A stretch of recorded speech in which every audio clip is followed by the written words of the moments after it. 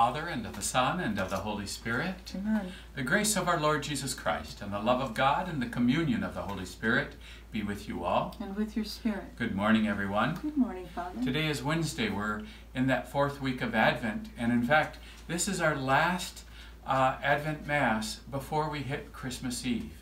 And so that we can prepare our hearts to be truly prepared for Christmas Eve, uh, let us call to mind our sins. Let us call to mind the need for the light of Christ.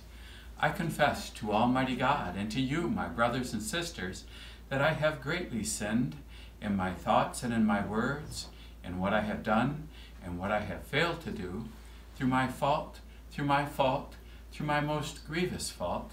Therefore I ask, Blessed Mary, ever Virgin, all the angels and saints, and you, my brothers and sisters, to pray for me to the Lord our God.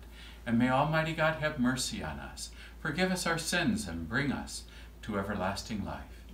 Let us pray. Almighty, ever-living God, as we see how the nativity of your Son, according to the flesh, draws near, we pray that to us, your unworthy servants, mercy may flow forth from your word, who chose to become flesh of the Virgin Mary, and establish among us his dwelling, Christ our Lord, who lives and reigns with you in the unity of the Holy Spirit, one God for ever and ever. Amen.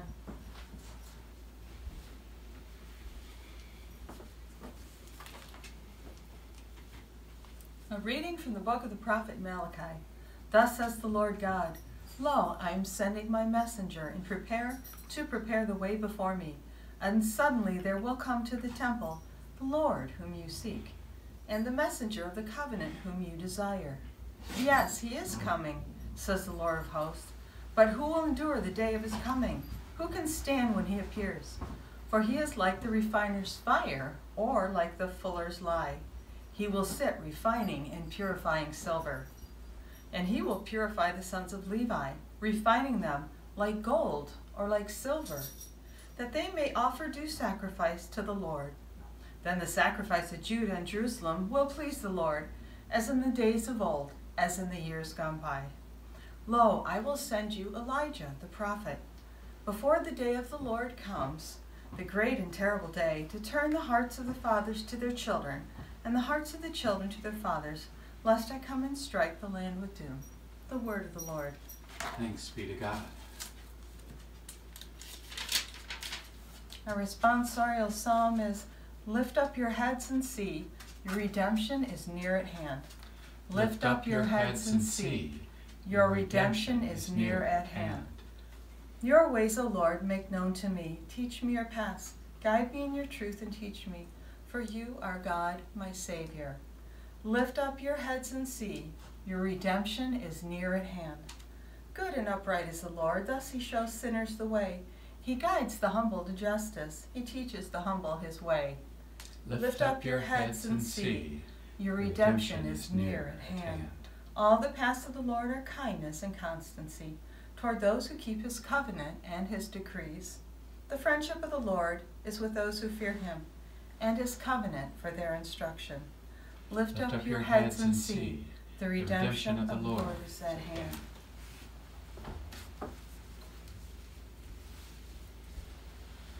Hallelujah, hallelujah, hallelujah, hallelujah, hallelujah, hallelujah. O King of all the nations and keystone of the church, come and save man, whom you formed from the dust. Hallelujah, hallelujah, hallelujah. The Lord be with you. With your spirit, A reading from the Holy Gospel according to Luke. glory to you, Lord. Lord, be in our minds and our lips and in our hearts. When the time arrived for Elizabeth to have her child, she gave birth to a son. Her neighbors and relatives heard that the Lord had shown his great mercy towards her, and they rejoiced with her. When they came on the eighth day to circumcise the child, They were going to call him Zechariah, after his father. But his mother said in reply, No, he will be called John. But they answered her, There is no one among your relatives who has this name. So they made signs asking his father what he wished him to be called. He asked for a tablet and wrote, John is his name. And all were amazed. Immediately his mouth was opened and his tongue freed, and he spoke, blessing God. Then fear came upon all their neighbors, and all these matters were discussed throughout the hill country of Judea. All who heard these things took them to heart, saying, What then will this child be? For surely the hand of the Lord is with him.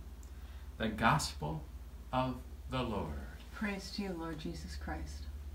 So uh, I heard in the antiphon, the gospel antiphon, uh, come and save man whom you formed from the dust.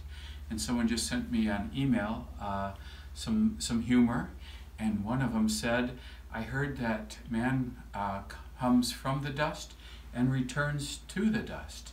And that's why I don't dust in my house. I could be dusting one of my friends. Ha ha ha. Yeah, no, we are dust, and unto dust we shall return. But this is where God gives us so much meaning. Now we're not just dust, but now we become stardust. Today in the sky is the great star where Jupiter and Saturn align.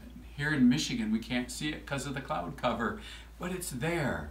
The star is aligned to where it's almost the Star of Bethlehem, we suppose, some of us. And so, in some ways, today we become stardust. We are dust, but not just dust. We are the dust of our Lord Jesus Christ.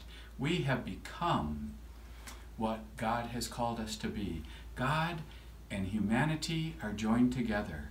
Some say God and man at table are sat down, but in Jesus, in Christmas, in just a couple days, humanity and divinity are joined uh, let's prepare our hearts to be joined with God this time so that we can become those stars that people need in our world, uh, those lights that people need in our world.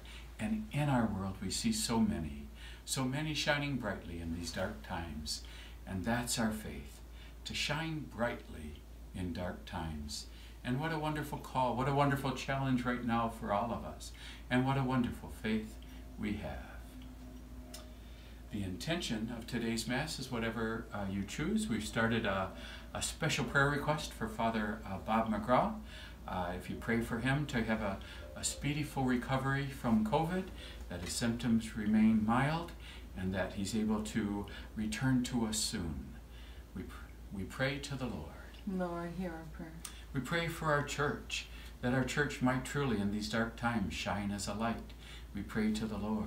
Lord, hear our prayer. Lord, we pray for our world, that they might see the light of Christ in a new way and respond and become all that God created us to be. We pray to the Lord. Lord, hear our prayer. We pray for our Holy Redeemer, our wonderful church, that uh, in this time we might grow together, grow strong, and grow more in the Lord. We pray to the Lord. Lord, hear our prayer. We pray for those who have died. Uh, we pray especially for Margaret Carvo. Uh, she died today, and uh, her funeral will be Monday. Uh, and for all who have died, we pray to the Lord. Lord, hear our prayer. We pray for all those who grieve, that they might be consoled, especially uh, the Carvo and McConzick families in our parish. We pray to the Lord. Lord, hear our prayer. Lord, we pray for those who are sick or suffering in any way, of course, Father Bob, but all who suffer from COVID and all who suffer in any way. Uh, someone contacted me, they're having heart surgery soon. Uh, Lord, for all who ask us to pray for them, we pray to the Lord. Lord, hear our prayer.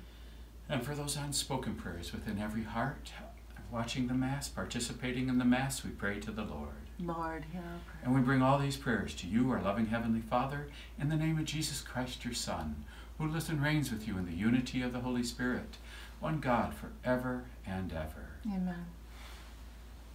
Blessed are you, Lord God of all creation, for through your goodness we have this bread to offer, which earth has given and human hands have made. it will become for us the bread of life. Blessed be God forever. And by the mystery of this water and wine, may we come to share the divinity of Christ, who humbled himself to share our humanity. Blessed are you, Lord God of all creation, for through your goodness we have this wine to offer, fruit of the vine and work of human hands. It will become our spiritual drink. Blessed be God forever. Lord, we ask you to receive us, to be pleased with the sacrifice we offer in humble and contrite hearts. And Lord, wash away my iniquity, cleanse me from my sins. And now pray, my sisters and brothers, that my sacrifice and yours may be acceptable to God, the Almighty Father. May the Lord accept the sacrifice at your hands for the praise and glory of his name, for our good and the good of all his holy church. May this oblation by which divine worship in its fullness has been inaugurated for us be our perfect reconciliation with you, O Lord, that we may celebrate with minds made pure the nativity of our holy Redeemer, who lives and reigns for ever and ever. Amen. The Lord be with you. And with your spirit. Lift up your hearts. We lift them up to the Lord. Let us give thanks to the Lord our God. It is right and just. It is truly right and just, our duty and our salvation, always and everywhere to give you thanks, Lord, Holy Father, Almighty and eternal God, through Christ our Lord, for all the oracles of the prophets foretold him. The Virgin Mother longed for him with love beyond all telling. John the Baptist sang of his coming and proclaimed his presence when he came. It is by his gift that already we rejoice at the mystery of his nativity, so that he may find us watchful in prayer and exultant in his praise. And so with angels and archangels, with thrones and dominions, with all the hosts and powers of heaven, we sing the hymn of your glory, as without end we acclaim. Holy, holy, holy Lord, God of hosts, heaven and earth are full of your glory. Hosanna in the highest. Blessed is he who comes in the name of the Lord. Hosanna in the highest. You are indeed holy, O Lord, the fount of all holiness. Make holy, therefore, these gifts, we pray, by sending down your Spirit upon them like the dewfall, so that they may become for us the body and blood of our Lord Jesus Christ. At the time he was betrayed and entered willingly into his passion, he took bread and giving thanks broke it. He gave it to his disciples, saying, Take this, all of you, and eat of it, for this is my body, which will be given up for you.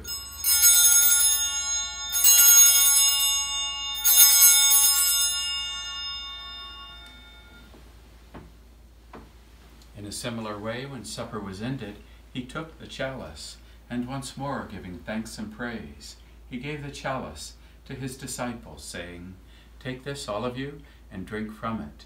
For this is the chalice of my blood, the blood of the new and eternal covenant, which will be poured out for you and for many for the forgiveness of sins.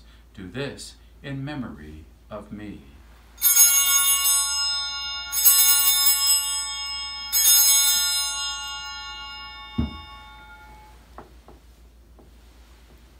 The mystery of faith.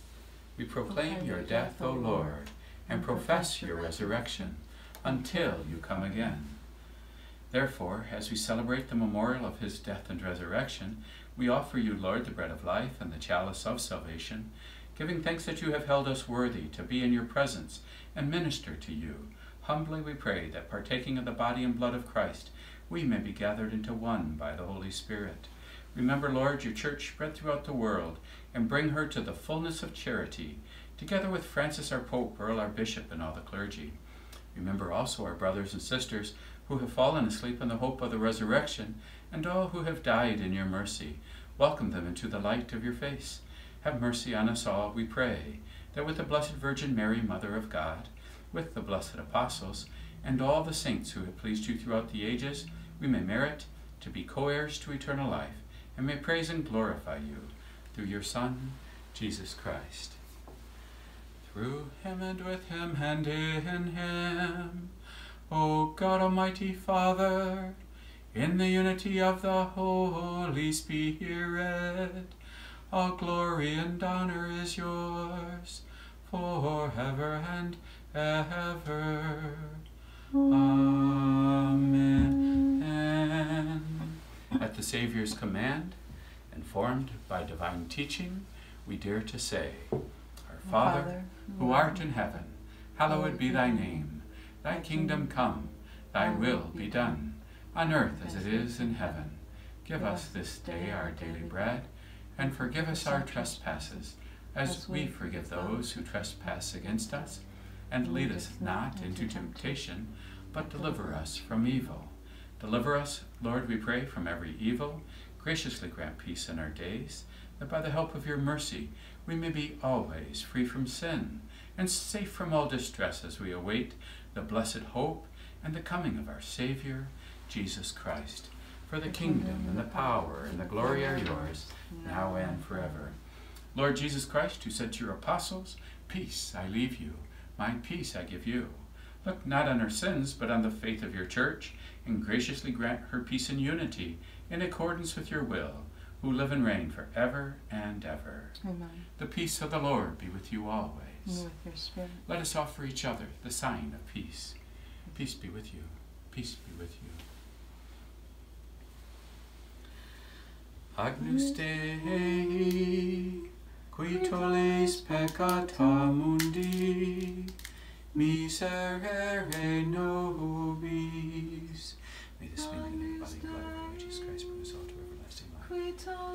Peccata mundi, miserere nobis.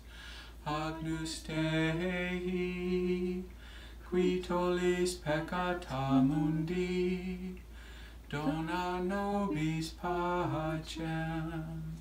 Lord Jesus Christ, with faith in your love and mercy, eat your body, drink your blood. Let us pray our spiritual communion prayer. My Jesus, I believe that you are present in the blessed sacrament. I love you above all things, and I desire you in my soul. Since I cannot now physically receive you at this moment, come spiritually into my heart. You are already there. I embrace you and unite myself wholly to you. Do not let me ever be separated from you. Amen.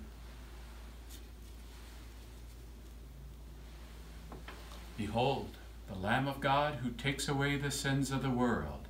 Blessed are those who are called to the supper of the Lamb. Lord, I am not worthy that you should enter under my roof. Only say the word, and my soul shall be healed. May the body and blood of our Lord Jesus Christ keep me safe for eternal life.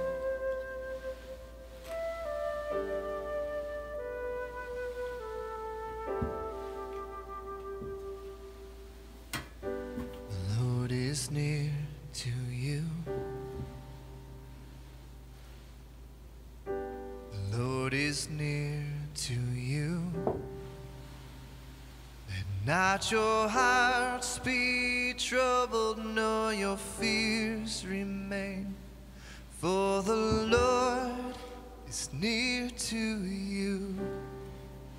He gives you rest.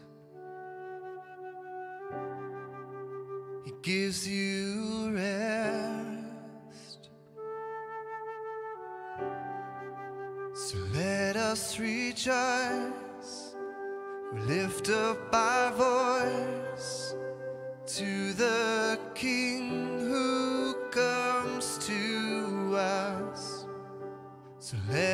let us prepare, awaken arms to the lover of our lives.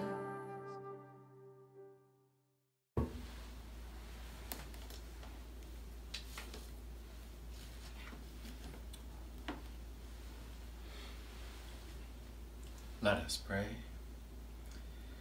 Grant your peace, O Lord, to those you have nourished with these heavenly gifts, that we may be ready with lighted lamps to meet your dearly beloved Son at his coming, who lives and reigns forever and ever. Amen. And if you can go, I'll go on our Facebook site. I believe it should be up by the time this Mass shows. And uh, just uh, find that prayer request for Bob and just make a comment, give him your love, let him know you're praying and supporting him. The Lord be with you, And with your spirit. and may Almighty God bless you, the Father and the Son and the Holy Spirit. Amen. Let us go in the peace of Christ to love and to serve the Lord. Thanks be to God.